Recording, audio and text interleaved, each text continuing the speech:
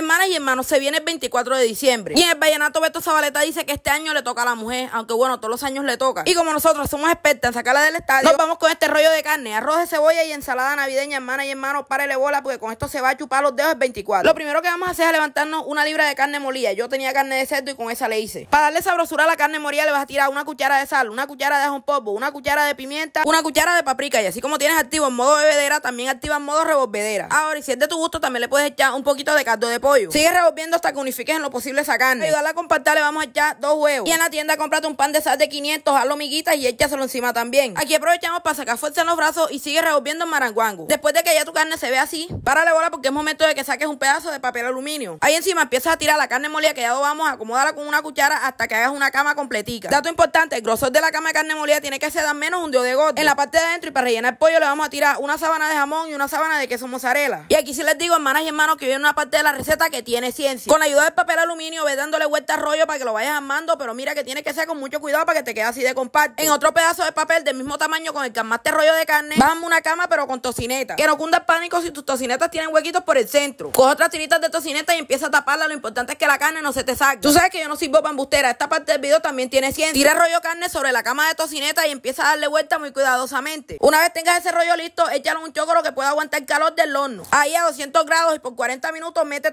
Mientras tanto, y para ir adelantando, un aceite caliente vas a echar una cebolla roja. Para caramelizarla, tírale dos pedazos de panela y empieza a revolver hasta que esa vaina ya se ve así. Ahora es momento de que saques la matemática básica y sepas cuánto de agua le tienes que echar una libra de arroz. Y no me digas que tu mamá no te enseñó eso porque ella tampoco te enseñó esas otras cosas y bien que las hace. Una vez tu agua esté viendo, echa para dentro del arroz que haga corona. Para equilibrar los sabores, dos cucharas de azúcar y una cuchara de sal y sigue revolviendo. Creería yo que esto no tengo que decírtelo, pero cuando ya haya secado, bájale la mecha y ponle la tapa. Aprovechamos y vamos adelantando la ensalada navideña. Levántate una lechuga fresca, corta la Y las uvas que están bien caras hasta para los deseos, tíralas para encima. Echale piña que hayas puesto a cocinar previamente con azúcar. Y sin más preámbulos, tírale unos pedazos de manzana roja y otros pedazos de manzana verde. Hermanas y hermanos, y con esto aprovecho para mandarle un saludo a Juan David Romero y a Luz Mauricio en Madrid, Cundinamarca. Encima de la ensalada vas echar un toque de crema de leche y también un toque de salsa tártara. Uno hemos desactivado modo revolvedera, así que continúa revolviendo. A probar la ensalada sentía que todavía le hacía falta un toque de sabrosura, así que a un chorrito de crema de leche le eché una cuchara de azúcar, la revolví y se la eché encima también. Ustedes saben que aquí en Cocina y me damos sello de garantía de todas las comidas. Por eso aprovecho para ponerte en conocimiento mi nuevo emprendimiento. Mándame 50 barras y te ve bien en el amor el otro año. Como ya pasaron 40 minutos, vamos a sacar rollo que teníamos en el horno. Abre el aluminio de tal manera que te quede descubierto en la parte de arriba y así lo metes en el horno para que se doren las tocinetas. Así que a 30 minutos y a la misma temperatura, échalo para dentro. Ya casi va llegando el tiempo que nos gusta. Destape el arroz y míralo cómo se ve de efectivo y uno a. Te cuento que para bañar los rollos yo puse a cocinar un poquito de jugo de tomate de árbol con un poquito de azúcar. Empecé a revolverlo hasta que ya se veía así. Les cuento, hermanas y hermanos, que ya pasaron 30 minutos. Mire cómo cómo se ve ese rollo de sabroso. Una vez aprovecho para decirte que le des las gracias a Dios si tienes para comerte un plato de esto junto a tu familia el 24 de diciembre. Y con esta exquisitez y belleza de receta, hermana, lo único que tienes que hacer es meterle un cuchillazo. Ahora sí te digo que se acerca una parte de la receta que es la que más nos encanta, el momento de la comelona. Este es el momento favorito de aquellos que solo están en la cocina para ayudar a probar, pero no lavan ni un plato. Mira que no te lo tengo que repetir, te aseguro que esta comida te va a gustar porque quedó bien efectiva y uno Hermana y hermano, y aún más mis fieles seguidores, una vez más, gracias por quedarte hasta el final aquí en Cocina y Macramé, alto en sabrosura.